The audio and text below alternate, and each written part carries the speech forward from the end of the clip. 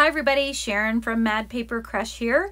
Today I want to walk you through the lap book that I made based on Nik the Booksmith series on making these beautiful lap books. I had such a ball doing it. It was such a neat project.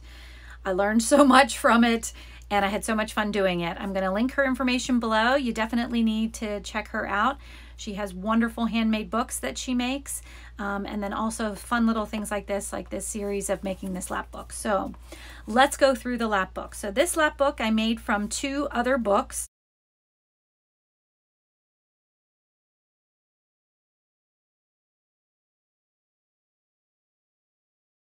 So this is one of the covers on the front, one of the covers on the back, which I did cover with some scrapbook paper and distressed a little bit. And then the other book cover is on the inside, which we'll go see in just a minute. Um, lap books are amazing little things that have so many nooks and crannies and tucks. I had such a ball making it. So I wanted to add something to the front and I had seen Nik make one of these for one of her journals one time. So this is just a, a, file folder that I folded into like a little pocket there with some nice metal embellishments. This one actually came from um, a filing cabinet at an old electric company and you'll see some of that information, more of that information uh, on the inside there.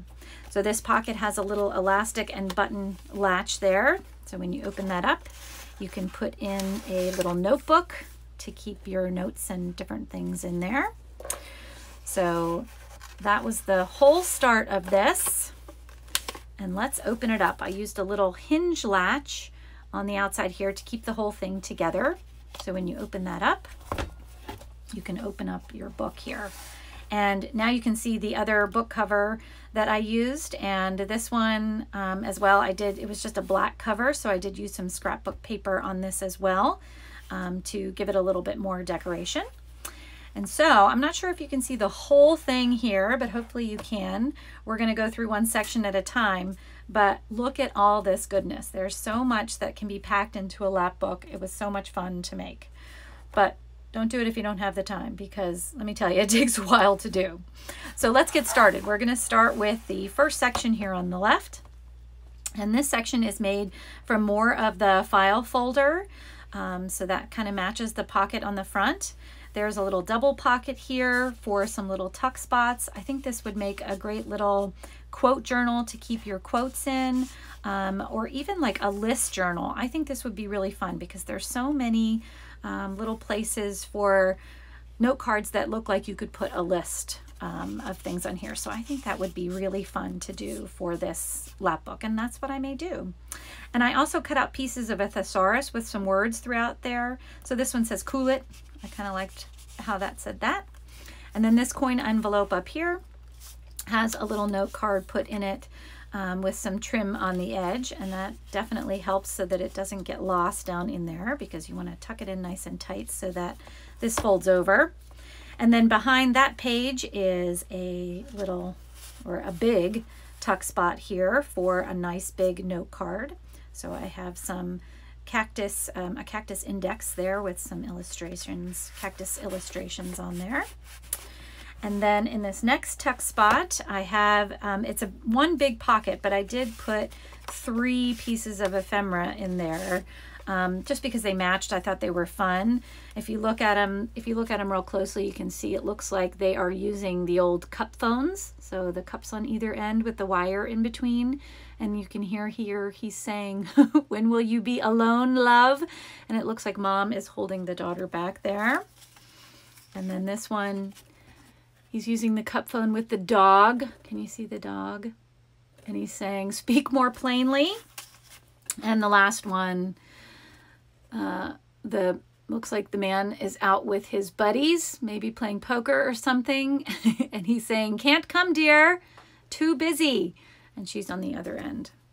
So I thought these were really fun. And they once again would make great note cards um, to keep your lists on or keep any of those things on. So, so that's there.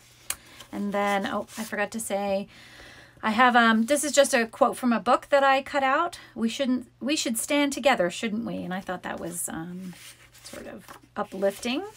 We all need to be supporting each other. When you flip this page over, There is a magnetic envelope here that I've covered with some scrapbook paper and added some labels to. That one says Pure Lard and I love it. And then when you open it up, it has a note card in there. Once again, that would make a great place to keep a list if you're a list keeper. Whoops, what am I doing here? There we go. So that tucks right in there and that's magnetic. And then the back page of this section has a index card from that electric company that I mentioned before. And I think they were using these electric, or I'm sorry, these index cards for keeping track of the equipment that they used um, at the company. And so I made this into a little pocket in the back there, and there's a little piece of ephemera right there, little note card that you can use with a tab on it. And then down here is a little coin envelope made with some more file folder there. And when you open that up, you can pull out another note card. And I just added a little tab to this one so that when you tucked it down in, the tab would be right there, making it easy for you to pull that in and out. And I added some more vintage labels on there and some more cutouts um, from some of the books that I have, which I love. All right, let's move on to the second section. Second section is just a series of pages that flip out. So we'll go through them. The first page here is just a small page I covered with some um, old dictionary that's falling apart. You can see it's kind of torn off and um, I kind of like the way that looks. And then I have a little library pocket here with a guest check in there. And I did cut out some more words from the thesaurus there. So this one has rabble and rabid on it. I thought that was appropriate. All right, and then when you flip this over, there's this nice big glassine um, pocket um, tuck spot here that I have, I just put um, a note card in. I think I got this one from the Graphics Fairy. And then you can kind of see through underneath, there's a vintage advertisements for bathing suits. So I'm gonna try and hold it up and see if you can see it, the two women there in their bathing suits. And I just think that's fun, kind of sneaking out at you. And our next page has a nice big um, note spot there, journal spot here. Um, this is just scrapbook paper and you could maybe use it a as a calendar. There's some um, numbers that come down the side here. Or once again, this would make a nice list because you have numbers there to number the things in your list if you wanted to do that. And then when you flip that up, there's just a, um, a book page on the back. So nothing, nothing to see there. And then over here we have two little fold outs underneath. And this page on the back is another um, piece that came from that electric company um, where they were keeping um, journals and notes on things. So there's some dates on there um, and then information about what they were tracking. And I'm not even sure I would understand any of it if I read it. Um, and then in this envelope, there's a note card that's tucked right in there, of course. And then this is just a little um, paper bag. And both of these I attached with some washi tape. And then this little bag um, just has a little tag in there that once again you could put a list on. And let's flip the next page. And this is a pretty simple page with some um, just pockets and tags. Um, but I did like the book page that this came with um, with the little illustrations on the side there, goat's beard and goat's rue. So it just has some neat information there about some plants. And those tuck right in there. And then our next page, um, there is, it's covered with an old German book page, and I just love the way the printing looks um, on that one. It's so intricate, um, just very elegant looking, but I also love the language. Um, and then I have a tuck spot right here where, of course, we have another note card there, little butterfly note card. And this page actually has a fold out. So when you fold it out, you can pull out the note card in there. And this one, I believe, is a hotel invoice of some sort. And then more of that um, German writing with a map that I thought was pretty neat. And some stickers. Gotta have stickers. And our next page in this section, when we do our last flip here, there's just two small um, pockets that have some of the thesaurus words on them. So corrected and quoted, I thought was fun. And then more note cards. And I think that you could probably even do lists around correct, corrected and quoted. I think that would be fun.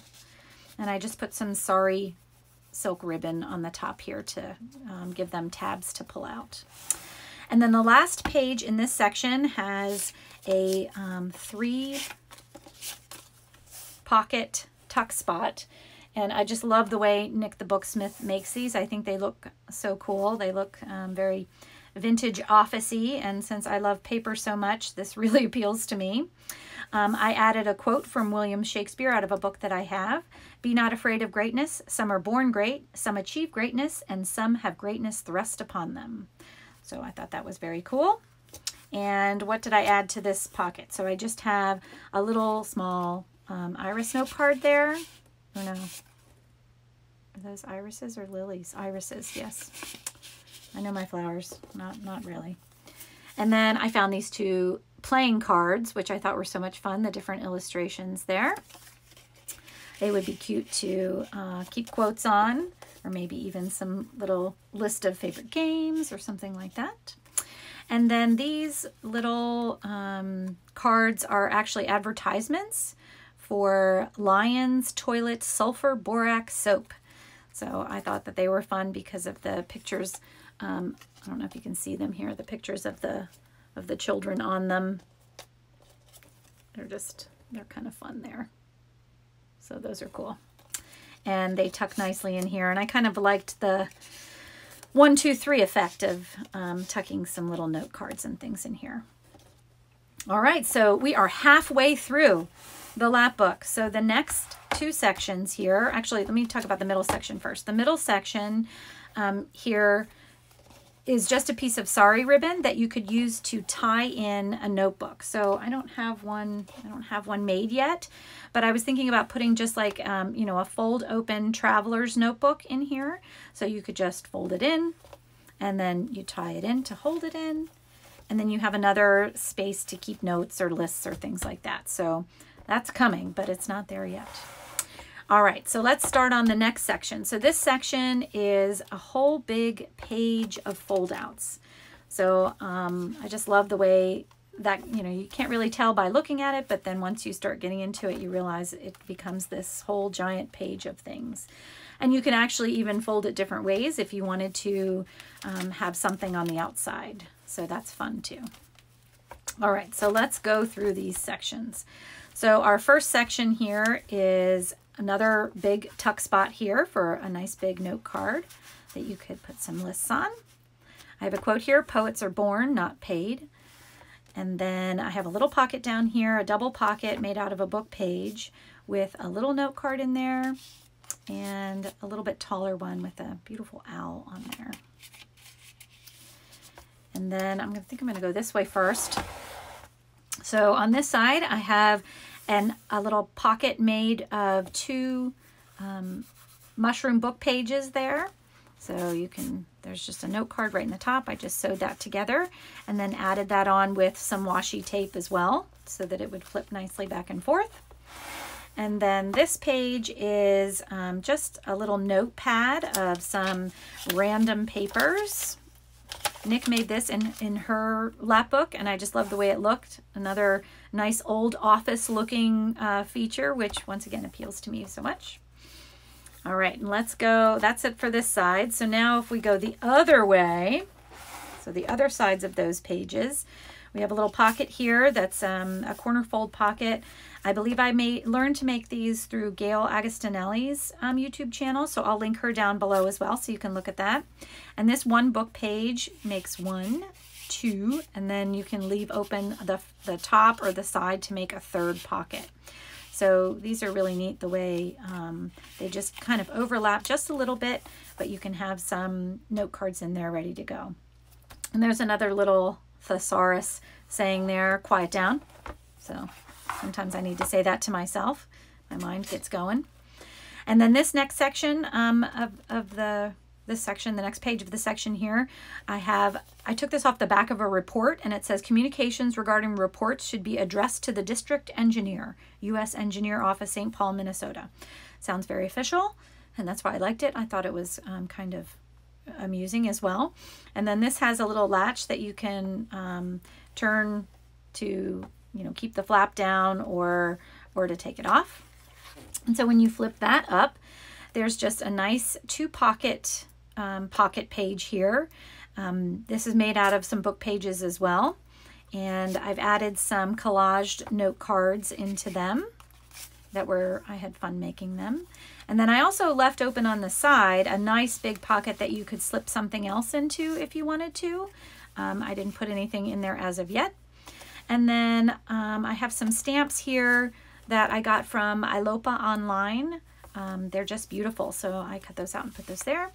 And then I added um, a little metal piece and little metal embellishment here. It says diary on there, and I put my daughter's um, birth date on there. So that I thought that was fun. All right, so we got that back up.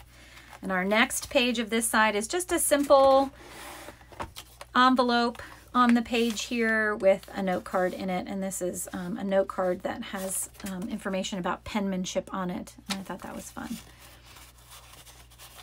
I always enjoy pen, penmanship. And then this page was a book page that had some um, pretty paintings in it, so I just wanted to leave that showing a little bit. And then the last page in this section just has a really big double pocket on it. Um, and I love that, that you can keep some bigger pieces um, in here as well. So this is a note card actually, actually from Vintage Mushroom Ephemera Kit that's in my Etsy shop. And then this pocket, look how big this pocket is. It's so big. I love that it keeps that in there. And this just has a fold out from a mushroom book that I have, which lets you know that these mushrooms are edible. So this is, you know, a nice reference to have in here when you're out in the field checking out mushrooms. You can, you know, double check to make sure they're edible before you eat them. All right, so that's the third section. And then the last section of the lap book is this really cool um, accordion folder here um, that Nik taught us to make in her series. And I just love that, you know, it has an, an additional three places to keep things. Um, I called it field notes here.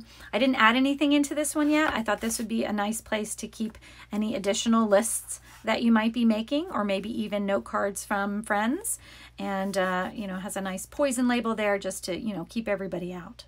So all right you guys that is the lap book. So I'm going to just close it back up here. And I thank you so much for watching. Please go check out Nik and the other people that I mentioned in this video. If you haven't subscribed to my YouTube channel, I hope that you'll do so. Hit the subscribe button and we'll see you in the next video. Thanks so much, guys. Bye-bye.